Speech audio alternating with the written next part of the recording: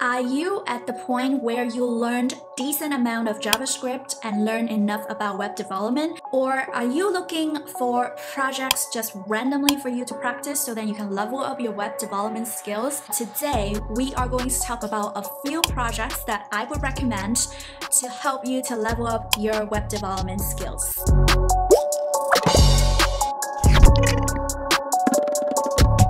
Everyone, welcome and welcome back to my channel. My name is Vicky Mei and I am a full-time software developer, a web developer working in New York City. In this channel, you are going to learn so much about learning how to code, web development, and all things related to tech. And also, if you want some quick videos about web development and all different kinds of topics about coding, make sure to check out my Instagram account and also my TikTok account for those contents. Options number one is to build an application that display data from an external API. This is a great starting point to get familiar with how to work with API. It's all up to you what kind of APIs that you are choosing from and here is a site that I would recommend you to check it out to find different useful APIs for you to use. The idea for this project is being able to comprehend how to use API and how to get the responses from API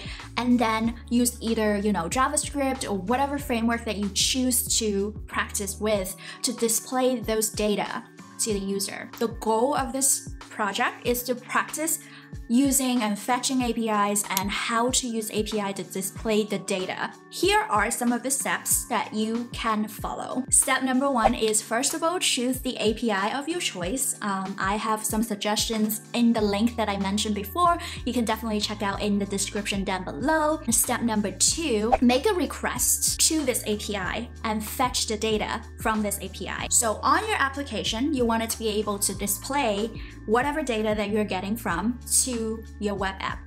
And notice the important part here is to minimizing your styling right now. Don't pay too much attention to CSS. Um, you can always do that later. The point of this project is actually to practice with APIs. And finally, after you test to make sure that your application actually works, and all you have to do is to style your application and just make sure that your UI is presentable to the users and maybe consider also making it mobile friendly.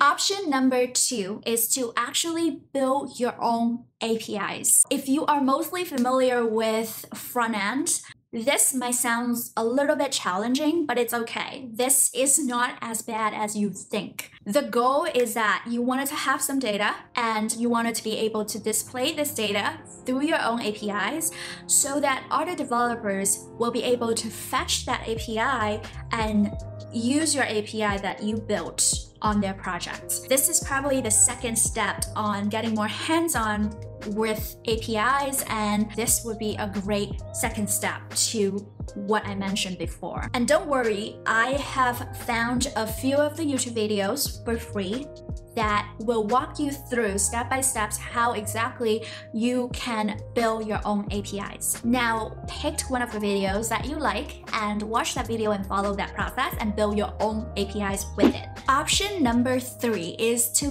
build an application with a authentication system. Just like working with APIs are important as part of knowing web development and knowing how to be a good web developer. Being able to authenticate users your web application is also a very crucial and quite important steps in your journey. The earlier that you can expose to authentication and thinking about implementing that feature in your application, the faster or closer you're going to become a real developer. When you work as a developer, a user authentication feature is almost like a must-have. Like everybody is going to request that feature. It is almost like impossible to escape from. I will link some of the useful tutorials and articles in the de description down below to make sure that you find the right resources to help you to kickstart your project with implementing authentication. Option number three is to build an application that connects to the database via an ORM. So what is ORM? ORM stands for Object Relational Mapping. This is where you begin to get into a little bit of the backend for your application. For this project, you will be building applications that are connects to a database. Uh, for instance, like PostgreSQL, MySQL, Firebase, MongoDB, etc. Um, for this type of project, you should be build a very simple CRUD. You will be able to learn how to use ORM tools to help you to communicate to the database. I think this is really important and in the past of my learning journey, I also built one, something like a note-taking app that helped me to perform all those operations in my own applications. And obviously, don't worry about, you know, where to find resources. I've got you. And I am going to give you tons of guidelines and official documentations in the description down below with two types, uh, Prisma or Sequelize. Uh, when I was learning, I think I used Sequelize and I think that both of them are good. You can just pick one. Again, it doesn't matter which one you pick, just pick one and go with it. What is next? Well, if you build all of these options, all of these projects that I mentioned before, you should be feeling more confident about your web development skills. The next steps you're going to do is combine all of these features that you learned from building all these projects previously into a giant project. That project should combine authentication, working with API, building your APIs, and all of those factors into your projects. And this could be the giant projects or one of the giant projects that you would display on either your portfolio or your resume. Also showcase to the recruiters how much of the actual practical features that you can build as a ready to get hired developer. I would also highly encourage you to check out this video over here that I talked about the projects that you should build to put on your portfolio or your resume to get hired. And until next time, I will talk to you soon. Adios.